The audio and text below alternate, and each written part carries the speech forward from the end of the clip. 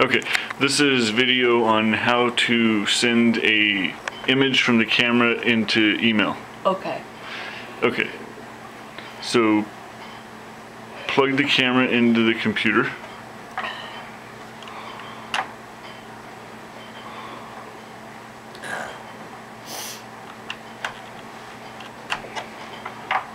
And then turn the camera on with the little button down there.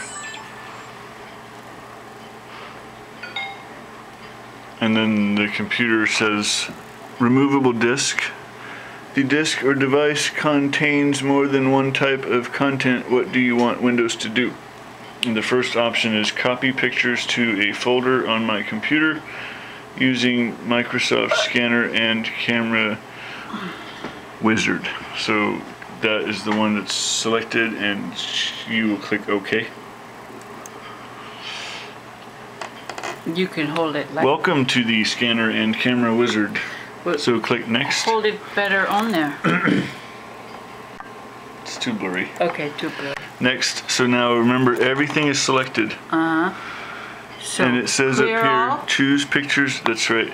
Choose pictures to copy. Pictures with check marks will be copied. So clear all. Then scroll through and choose the picture you want. Which one's better? That one, I think. Mhm. Once you've picked your pictures, do next. Next. This says picture name and destination. Type a name for the group of pictures. Okay, I'm pick. I'm typing Naomi. Okay, next. Uh, next. The picture already exists. Would you like to save a copy? Yes. Okay. Now it's done. What do you want to do? It says. What do you want to And do default is nothing. I'm finished working with the picture? with these pictures. So next. Next. Now it says one pictures were copied. To see your picture on your computer, click the location below. So you can click that or you can just finish because we're done with this wizard now. And it opened and it showed you, it made a copy because it mm. had one there before. Mm. Mm.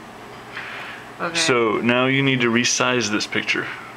So right click on that picture right click. and choose resize pictures. You can create resized copies of one or more selected pictures and store them in the current folder. Select a size. Small is perfect. Okay. Now it made one and it called it Naomi 001 small. Mm-hmm. Perfect. So now open up your email. Uh, then I go to here to the E. And but see, before I had I had the Gmail saved here, and I could just click on it. And now load the next video of how to send a small picture. End of this video.